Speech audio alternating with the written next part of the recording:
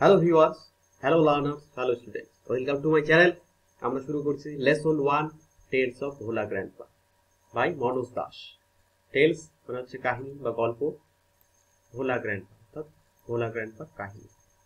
তো আমরা অথার ও সম্বন্ধে যে একটু বর্ণনা দেওয়া রয়েছে, সেগুলো সংক্ষেপে দেখে নিই।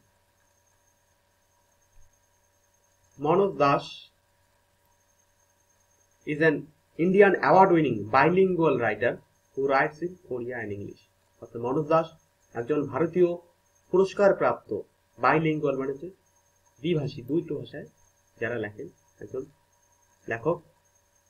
তিনি ওড়িয়া এবং ইংরেজিতে দুটো ভাষাতে লেখেন।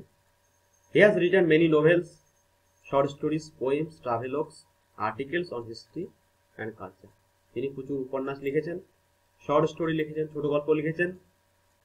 পোয়েমস কবিতা লিখেছেন ট্রাভেলগস ভ্রমণ কাহিনী লিখেছেন অ্যান্ড আর্টিকেলস অন প্রবন্ধ লিখেছেন, ইতিহাস এবং কালচারের উপরে। The text is an edited version of দাসের শর্ট স্টোরি অর্থাৎ যে বর্তমান যে গল্পটি, এটা হচ্ছে মনোজ দাসের একটা ছোট গল্পের সংস্করণ, একটা ক্ষুদ্র রূপ। Which narrates Bhola grandpa's hilarious adventures seen through the eyes of a young man who had known him closely. এই গল্পের বর্ণনা রয়েছে ভোলা দাদুর হিলারিয়াস অ্যাডভেঞ্চার অর্থাৎ হাস্যকর একটা বর্ণনা। অ্যাডভেঞ্চার শুনে এখানে কাহিনী বা জীবনযাত্রার কথা বলা হয়েছে।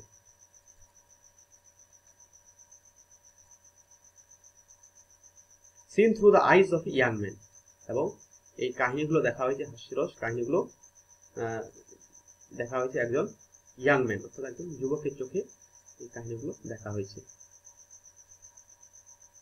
Who had known him closely যে তাকে খুব কাছ থেকে জানতো এবং চিনত। The simplicity and forgetfulness of Bhola grand grandpa provides an element of humour on which the story hinges অর্থাৎ ভোলা গ্র্যান্ডপার চরিত্রে দুটো বৈশিষ্ট্য ছিল। একটা হচ্ছে সিম্পলিসিটি সরলতা এবং ফরগেটফুলনেস অর্থাৎ ভুলে যাওয়া। এই দুটোই গল্পকে প্রদান করে প্রোভাইডস প্রদান করে অ্যান্ড এলিমেন্ট অফ হিউমার অর্থাৎ একটা হাসির উপাদান বা একটা রম্য রস সেটা দান করে on which the story hinges যার উপরেই স্টোরিটা বেস করে রয়েছে। হিঞ্জেস মানে ডিপেন্ড বা নির্ভর করা। তো এরপর আমরা মেইন টেক্সটে আসি।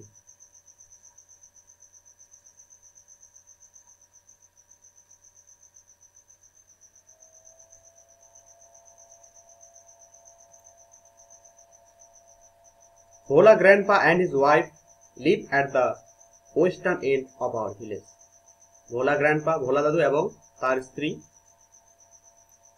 বাস করত অ্যাট দ্য ওয়েস্টার্ন অর্থাৎ আমাদের গ্রামের একেবারে পশ্চিম প্রান্তে তারা বাস করত বা থাকতো a large bakul tree overshadowed their hut এবং তাদের বাড়ির উপরে ছিল, তাদের কুটির উপরে ছিল, কুটির ঘর হাট মানে কুটির ঘর, একটা বিশাল বড় ধরনের বকুল গাছ যেটা তাদের বাড়িকে ঢেকে থাকত। In the bakul tree live a small troop of monkeys সেই বকুল গাছে থাকতো, বাস করত একদল বানর, একটা ছোট্ট বানরের দল। Bhola grandpa and his wife did not mind it Bhola দাদু এবং তার স্ত্রী সেটা কিছু মনে করতো না। এরপরে বর্ণনা রয়েছে যে টোটাল তিনটা হিলারিয়াস অ্যাডভেঞ্চার ভ্রমণ কাহিনী বর্ণনা দেওয়া রয়েছে।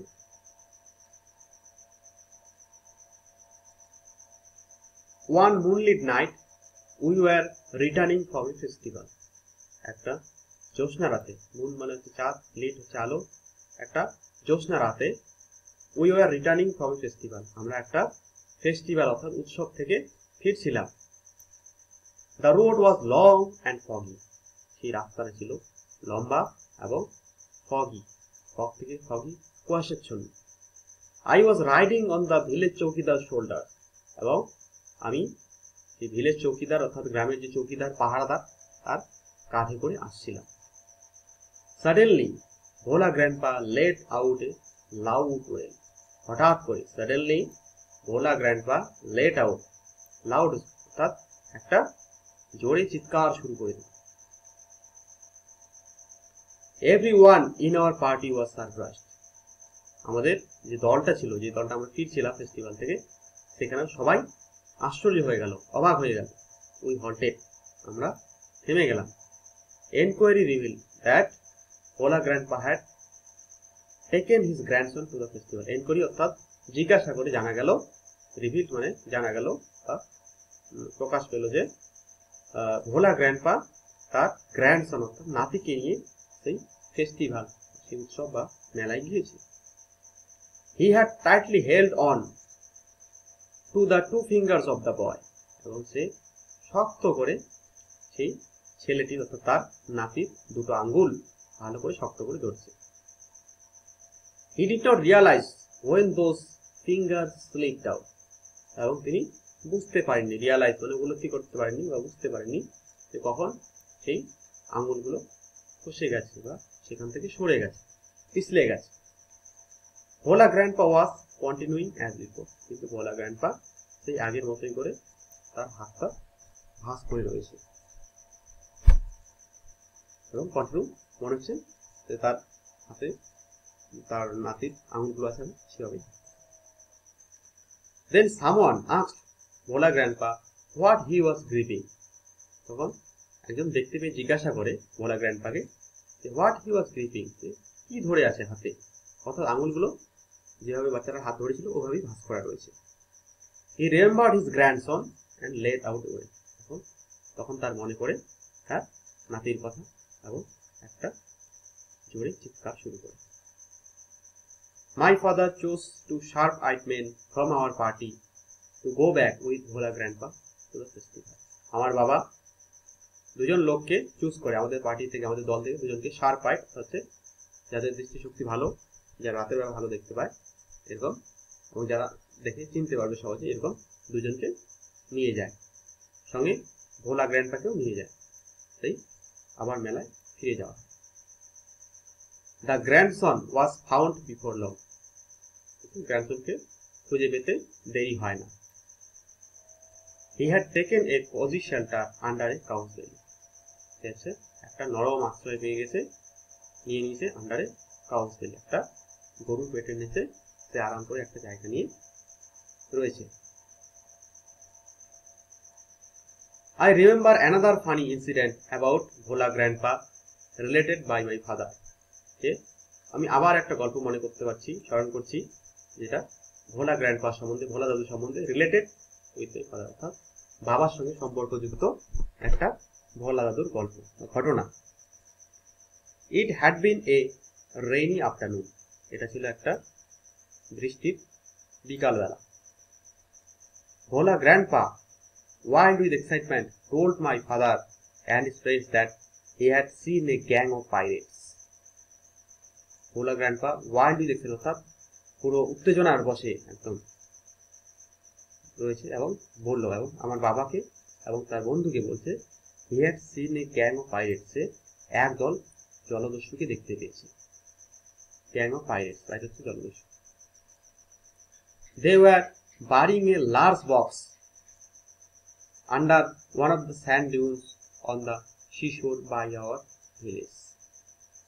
এবং সে দেখেছে দেওয়ার বাড়ি এ লার্জ বক্স একটা তারা বড় বাক্স খুঁজছিল under one of the sand dunes sand dunes হচ্ছে বালির TV.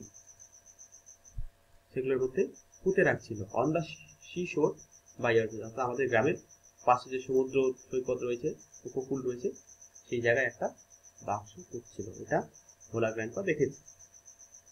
At once father and his friends started looking for the hidden treasure এবং তখনই বাবা এবং তার বন্ধুরা সেটা লুক ফর অর্থাৎ খোঁজা শুরু করে। সেই হিডেন ট্রেজার অর্থাৎ গোপন সেই সম্পদটা কি রয়েছে, সেটা খোঁজা শুরু করে।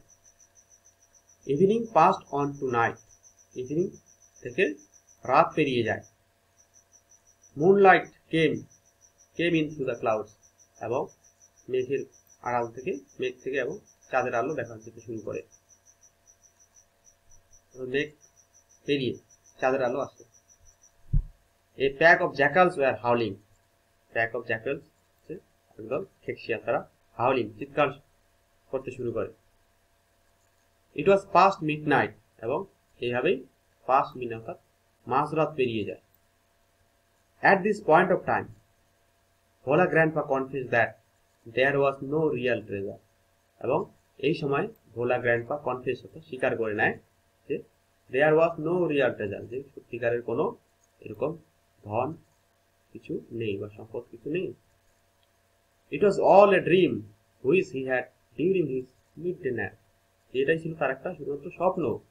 যেটা সে দেখেছিল ডিউরিং হিজ মিড ডে অর্থাৎ দুপুরবেলা সে একটু একটু জন্য ঘুমিয়ে পড়েছিল, সেই ঘুমের মধ্যে সেই স্বপ্নটা সে দেখেছে।